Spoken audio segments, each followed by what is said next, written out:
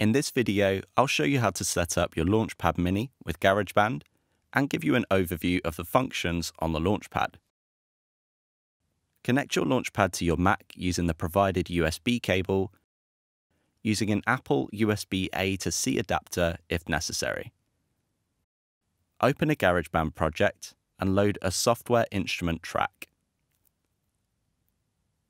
You'll be able to play the instrument using the keys mode on your Launchpad. Your Launchpad Mini is now set up and ready to use with GarageBand. The three powerful custom modes allow you to easily control anything MIDI from your Launchpad Mini.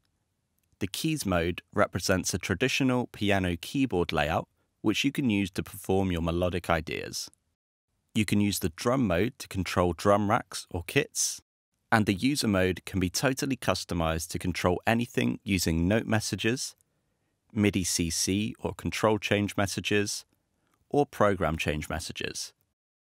You can create your own templates, browse existing templates, and back up your templates using Novation components, which you can learn more about at novationmusic.com forward slash components. We'd love to know whether you're up and running with your new Launchpad. If you are, then that's great, and we're excited to show you the next steps in your Launchpad journey. But if you require any further assistance, then we can direct you towards our support team.